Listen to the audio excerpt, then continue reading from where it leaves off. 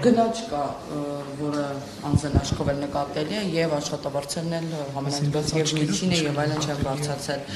Այդ պայմաններում գնաճի ու եկ մարդկանց եկամուտների չավելացման պարագայում ինչպես եք պատկերացնում այն տնտեսական արդյունքները, որը դուք տարեսկզբին նշել եք եւ շարունակում եք նշել։ Դե անձն աչքով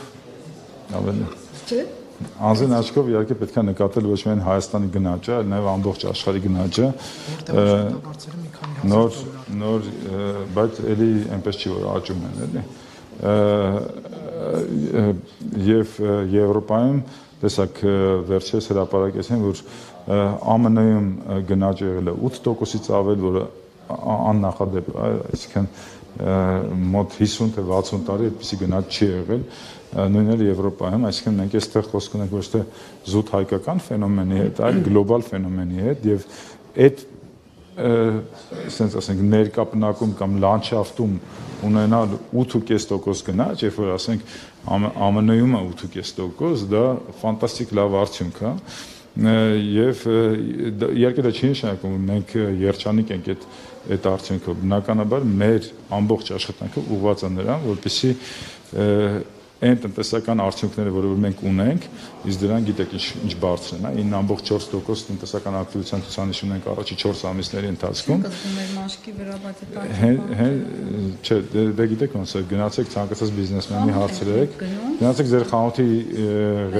մենեջերին հարցրեք, ասեք ձեր առևտուրը ոնց է եւ իրենք կասեն իրենց առևտուրը 30-40%-ով աճել է։ Բայց մեր գրպանն է գներեք։ Հիմա դուք ուզում եք ասեք, որ վիճակագրական կոմիտեն սխալ է հաշվում տնտեսական ակտիվության ցուցանիշը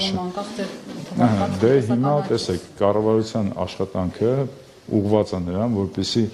այն տնտեսական արդյունքը, որը գոյանում է երկրին, լրացուցիչ տնտեսական արդյունքը, բարձր տնտեսական արդյունքը 9.4% բաշխվի մարդկանց միջև այնպես, որպեսզի բոլորը զգան։ Իհարկե դա հնարավոր չի մի քայլով անել, որովհետև գիտեք, կառավարությունը ինչ որ նոր ծախս ստանձնելիս, այդ ծախսը պարտավորում է կրել ընդմիշտ, հա, այսինքն մենք չենք կարող ասել թոշակները բարձրացնում ենք, հետո իջացնում ենք։ Եվ այդ առումով կառավարությունը շատ խոհեմ եւ զգուշ է ավելացնում իր օպերացիոն ընթացիկ ծախսերը, բայց այնուամենայնիվ դուք պետք է տեսնեք, որ տարեց տարի բյուջեի մեր ընթացիկ ծախսերի ծավալը կտրուկ մեծանում է եւ մի տարվա մեջ կարող է 300 միլիարդ դրամով փոխվի օրինակ եւ այդ գումարները ուղղվում են հենց սոցիալական խնդիրների լուծման առաջին հերթին